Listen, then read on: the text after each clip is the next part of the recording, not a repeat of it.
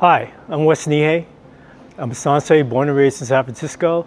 I'm the membership coordinator of Nichibei Weekly. In my role as membership coordinator, I'm familiar with all the members in the organization, so that gives me a good idea of the broad reach of the Nichibei Weekly across the country, combined with our editorial content.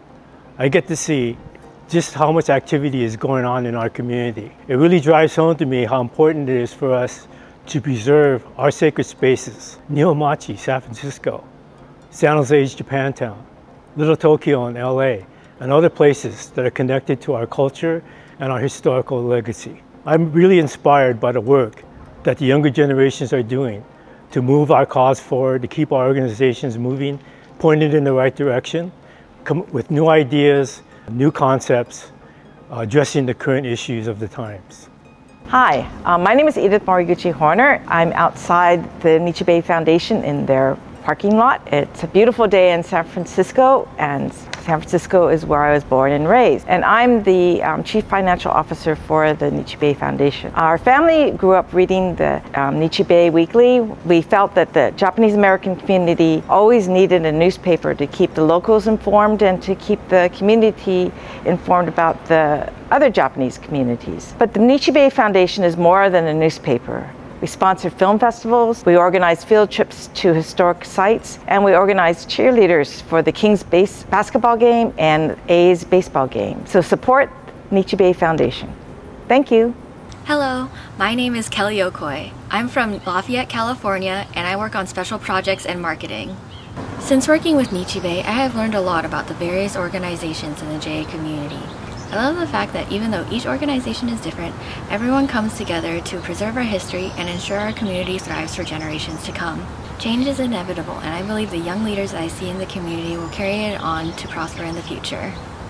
Hi, my name is Greg Viloria, born and raised in San Francisco and video producer for the Nichibei Weekly. As I've come to support the Japantown community with various volunteer activities, I've noticed that the Nichi Bei was uh, always a part of each one of those activities in some ways, whether it was from reporting about the event to actually being part of the event and taking an active role in uh, making the event. Uh, I was so impressed by the staff's dedication to documenting stories about the community, especially here in SF Japantown. One of the things that really struck me in, in, in preserving these, these stories is uh, my involvement with the 75th anniversary of uh, the bombing of Hiroshima and Nagasaki. Uh, it was during the pandemic, and I just thought that this was a very special thing to do, and it was. It just it just struck me that these hibakusha have stories to tell, and and deep, meaningful stories that will teach all of us these stories of war and use of nuclear weapons that should not be used on this earth. My name is Jill Shiraki. I'm a Sansei, originally from Los Angeles, and reside in El Cerrito, California. I help Nichibei with educational programming. Through Nichibei, we connect with community through stories of our past. We experience the places and memories of those that hold our history.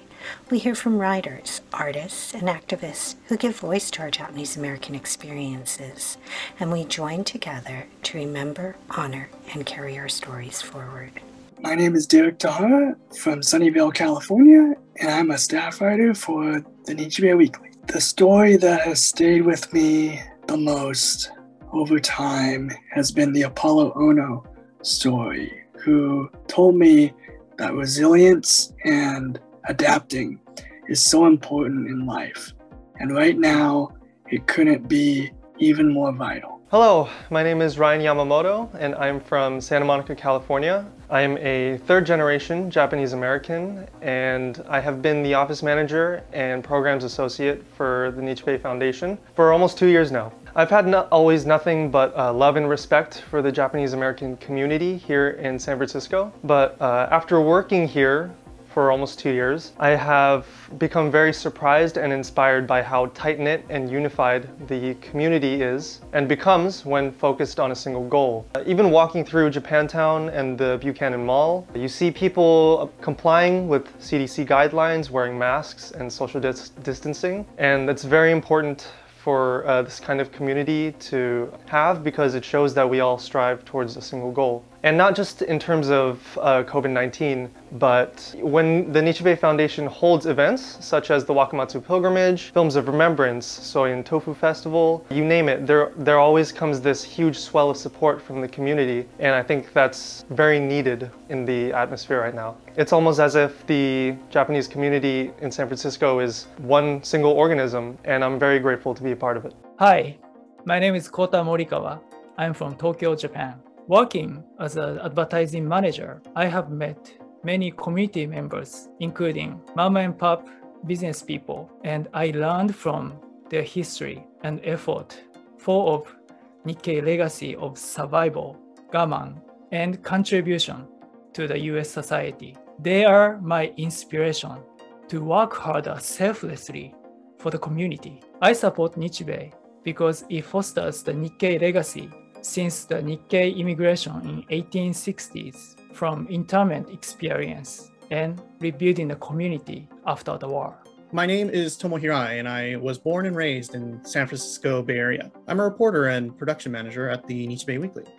And as a Shin Nisei, my own parents have relied on me throughout my life to convey information clearly and in language. I know having English as a second language creates a gulf between people, even among the community that we call the Japanese American diaspora.